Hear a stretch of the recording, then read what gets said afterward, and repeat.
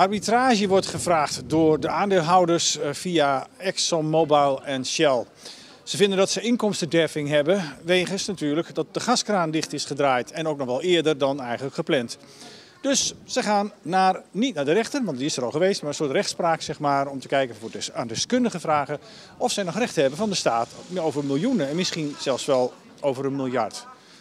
Ja, wat vinden we daarvan in Groningen? Terwijl er nog mensen hier wachten op hun eigen schadeuitbetaling die ze nog steeds niet hebben gehad. We leggen het voor in Strootbrood. Eigenlijk moeten die mensen die daar wonen, die moeten hier een tijdje gaan wonen. Hmm. Dan kunnen ze zien wat er eigenlijk eh, speelt hier in Groningen. Ja. Want eh, het gaat allemaal zo makkelijk. Het lijkt allemaal zo van, oh, is het wel waar, is het niet waar? Ja, dat vind ik. Ja. Achter een bureau vandaan en... eh, Ja, ja, ja, absoluut. Mhm. Ja.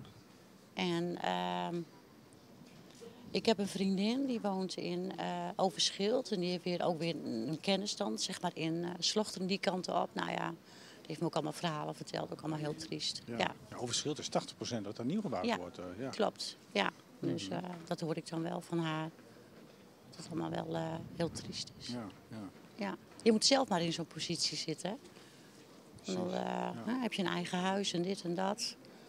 Ja. Heb je hard voor gewerkt. Mhm. Hè, Je hebt kinderen, die willen dit, die willen dat. Ja. Ik denk niet dat ik daar heel veel over kan zeggen, want ik ben pas naar Groningen gekomen. Ja. Mijn vriend is wel echt een Groninger, maar ik weet niet of je er echt Ja, van ik heb gemerkt daar hebt. ook niet echt een mening over, denk ik. eh, Nee? nee? Is het niet een stukje ethiek dat je denkt van... eh, ja, kun je dat wel maken ten opzichte van? Dat je...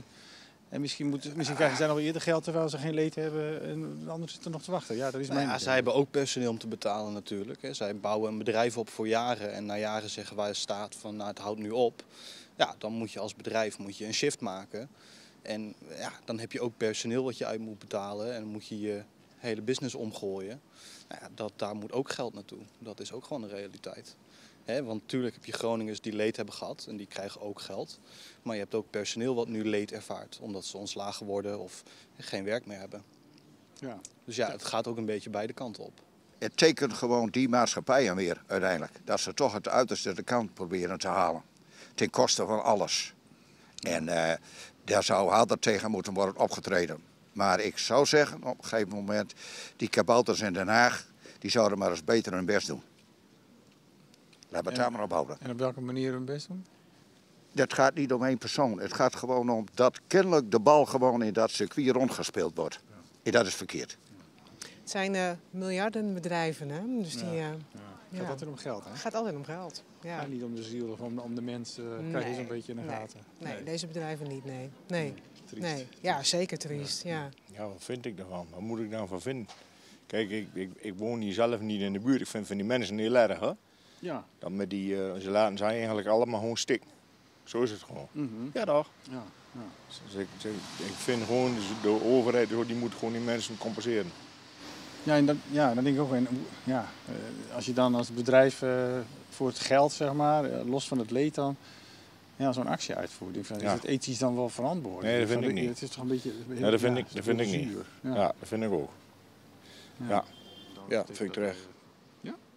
Ja? Natuurlijk. Als er afspraken over gemaakt zijn en je verliest daardoor inkomsten doordat een, een regering bepaalt dat het anders gaat, lijkt me niet meer dan logisch dat de regering ook moet betalen. Wat Voor- in deze crisistijd? eh, Welke crisis? Als er zoveel geld nog gestrooid wordt, dan zie ik nog steeds geen crisis in Nederland. Nee? Nee, ja, de schulden worden natuurlijk steeds hoger. Maar... ja. En in het licht van eh, het leed dan van degene die nog steeds wachten op, op, op gelden, zeg maar, uit die aardbevingsschade.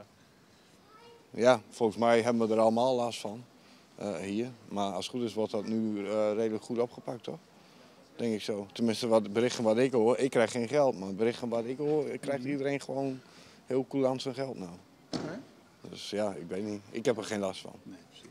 Ik denk op het moment dat je verder in die buurt woont en dat er meer problemen zijn en dat je dan lang moet wachten, ja, want dan gaat het ook om wat meer geld, denk ik.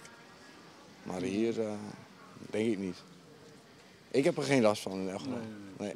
Nee, ik denk gewoon even aan, aan, aan anderen, zeg maar, eh, hoe sociaal en rechtvaardig het dan is. Dan denk ik van, ja, hoe kun je het maar... Ja, of ja, ethisch, veran- ethisch verantwoord is. dat als u een aandeelhouder was geweest, zou u ook graag uw geld willen hebben op het moment dat u daar veel geld in heeft gestoken.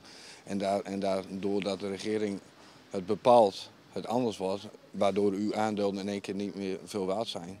Of, of waardoor u geen inkomsten meer verdient, lijkt me niet meer dan logisch.